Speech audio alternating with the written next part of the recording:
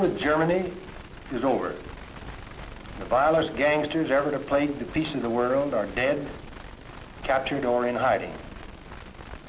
But before we can even think of peace, we have another gangster group to crush in the Pacific, whose barbarism has even exceeded that of the Germans. The Japanese have no hope of actually defeating us in this war, but they cherish another hope. To them, human lives are cheap. To us, they are very dear. Their one aim now is to involve us in a long, bloody conflict. They think we will grow tired of war and call it quits to avoid further casualties, wasting the sacrifices our men have already made and leaving them with sufficient strength and occupied territory to prepare for another war. Our purpose is to crush Japan just as quickly as we can with a minimum of casualties to submerge them with bombs and shells and overwhelm them with tanks and other armor. The only way to do that is to hit them with the full fury of all our power and strength. Therefore, we are now going to transfer sufficient men and equipment to the Pacific to help those men already engaged in battle with the enemy out there and to clean up the job as quickly and just as economically as possible. The problem of moving millions of men and their equipment over some 14,000 miles of ocean presents us with the greatest logistic challenge of all time. With every man moved overseas goes six tons of equipment. Thereafter, it takes one additional ton each month to maintain him with weapons, ammunition, food, and the 700,000 other items which go to make our fighting man the healthiest, the best fed, the best equipped soldier in the world. With every five soldiers sent overseas, we send one vehicle of some kind or other. This is made possible only by an abundance of ships.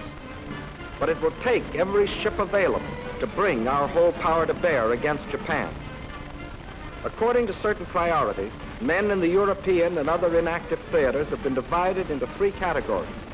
Those who are to be used as occupation troops, those who have become non-essential and can be sent home for return to civilian life, and those who are vital to the war against Japan. Every ship available will be used to rush these troops to the Pacific. This great movement from one fighting front to the other will create many stubborn problems which must be faced courageously. Many questions are being asked, not only by the tired and homesick soldier, but by his loved ones at home. We will try to answer some of the most typical ones. General Eisenhower, the men under MacArthur and Nimitz seem to be cleaning up on the Japs. Sir, why do they need us guys from Europe? Our men in the Pacific, some of whom have been fighting for more than three years, have done a brilliant and sensational job with limited resources. But as yet, only the outer defenses of Japan have been cracked. The real strength of the Japanese is concentrated in the homeland and in China. We have met and defeated about one million Japanese. There are four million more still to defeat. In addition to this, every year about one million new Japanese recruits come up, ready to die for their emperor. Nothing less than the brute power of our total force will ever defeat fanatic Japan. General Stilwell, what about the troops still in the U.S.? Sir, why not send them to the Pacific? There's considerable misunderstanding overseas about the number of troops in the United States. All combat divisions and the major portion of our air and service forces are already overseas and have been for months. Only men manning domestic installations, most of whom are returned combat troops of limited service status and individual replacements remain in the United States. The replacements are being trained and sent overseas as fast as possible to replace veteran combat men of the highest priority credit scores. In addition, an average of 80,000 new draftees are being called up each month to be trained for the same purpose. General Somervell, I'm a service force man in Europe slated to go to the Pacific. Sir, will I get home on a furlough first? Probably not. Some service force units will be redeployed through the United States, and men of these units will get furloughed. However, in the beginning, most service force units going to the Pacific will go direct. The need for them is imperative and immediate to build new bases, ports, communications, and power lines, to prepare the way for and aid combat troops. Along with them will go air crews, air-ground forces, and such fresh combat troops as can be utilized in immediate operations. We've got the Jap off balance. We must not give him a single moment's breathing spell to regain his strength. General Eisenhower, I'm an infantryman in Europe with a division that has been fighting two years. Sir, do I get a furlough home before I am shipped to the Pacific? Yes, you probably will. Only a few, if any, of the combat divisions in Europe will be shipped directly to the Pacific. I'm one of the lucky Joes in Europe that's been called non-essential, eligible for discharge. How soon do I get home? Not right away. All available shipping will first be used to send needed men to the Pacific. It will be several months after VE Day before the bulk of the men can be started home for release. Thereafter, it will be many additional months before all of these men can go home. This, we know, will be tough on you and on your families. But which is it better to do? Send a few men home now, or to concentrate on the job in the Pacific so that all men may go home sooner. Surely the men who remain away from home a few months longer in the comparative safety of an inactive theater will be the first to agree that it is the thing to do if it will save precious American lives in the Pacific. General Somervell, aren't there enough ships to send troops to the Pacific and bring us home too? I thought we had more ships now than we ever had. We have. The United Nations pool of shipping consists of all the ships of the United States, Britain, Canada, Norway, the Netherlands, Belgium, Greece, France, and Poland.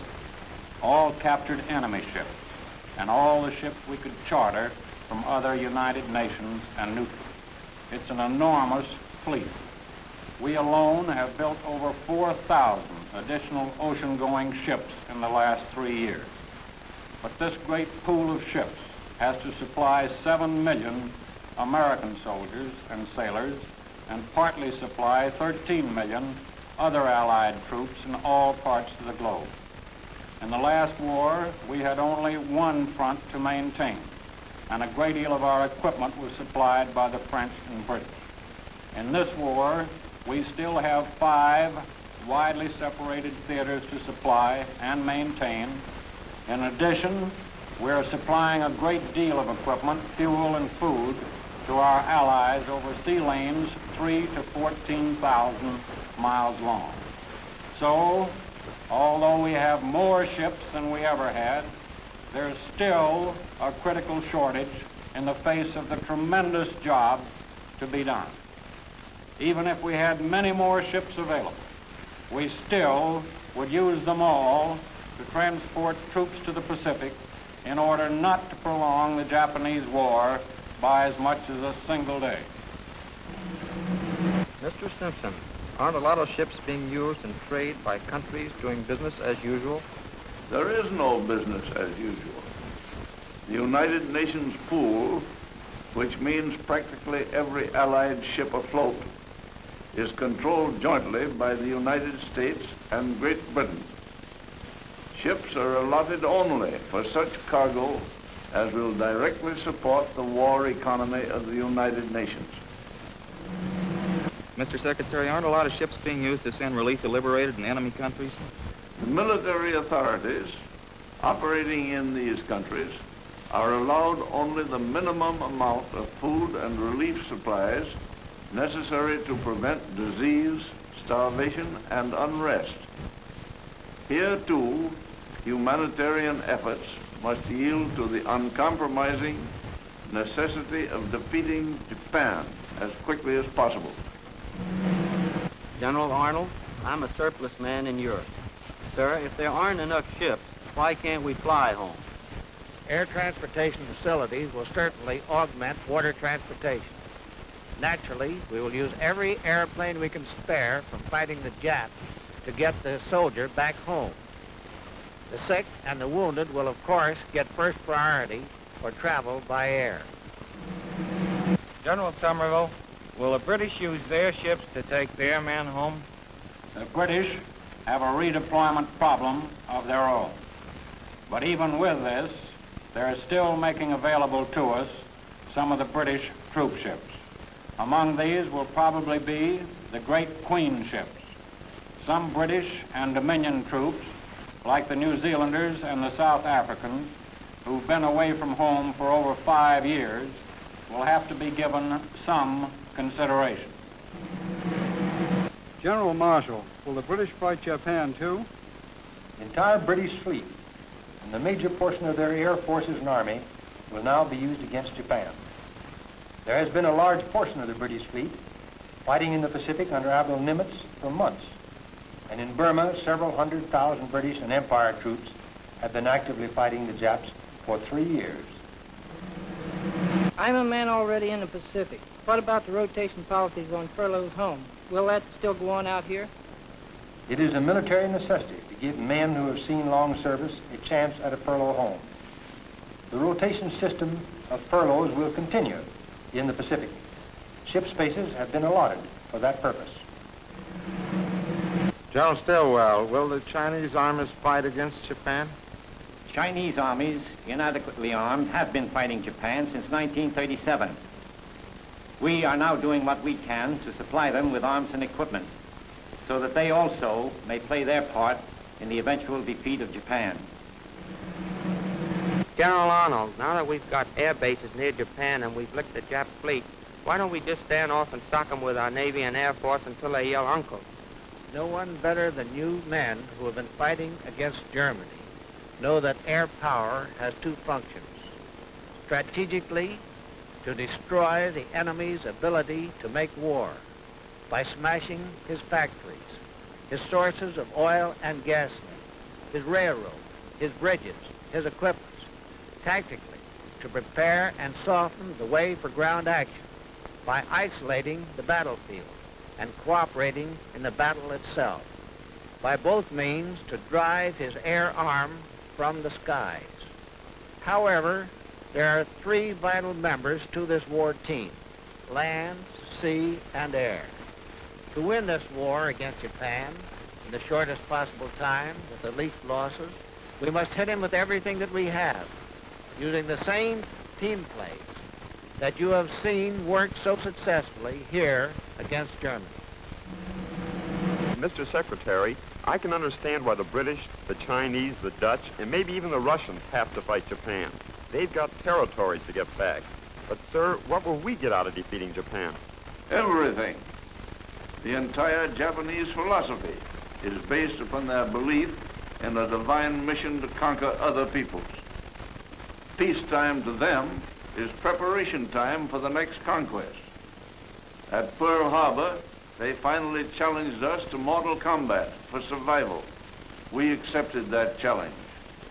We're going to destroy Japan's armies, Japan's navy, Japan's air forces, Japan's war factories, Japan's whole power to wage war.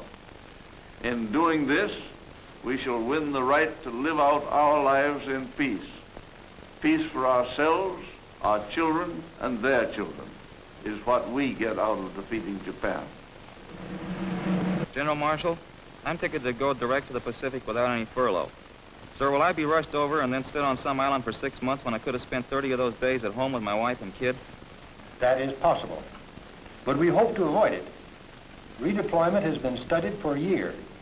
An entire priority system is planned to maintain a constantly increasing offensive against Japan. In that planning, some individuals will get better breaks than others. Wars have to be planned in terms of large masses if they are to be won. We have 8 million men to deal with. Although we do our utmost to prevent it, the individual may be lost sight of in the broad overall picture. That's one of the reasons why wars are so tragic, so un-American. That's why we are so determined that the sacrifices we are making today will serve not only to win this war, but will also result in putting an end to war itself, mankind's greatest and oldest enemy. How long will it take us to defeat Japan? That depends on the amount of power we apply and the vigor and speed with which we apply it. If all of us at home and at the front work with renewed determination and in complete cooperation, it should not take long. But one thing is certain. Any delay, any half-hearted performance, any let-up in our efforts anywhere along the line will be paid for in American lives. Japan must be completely crushed before we turn to the ways of peace. This must be the first priority for the United States of America.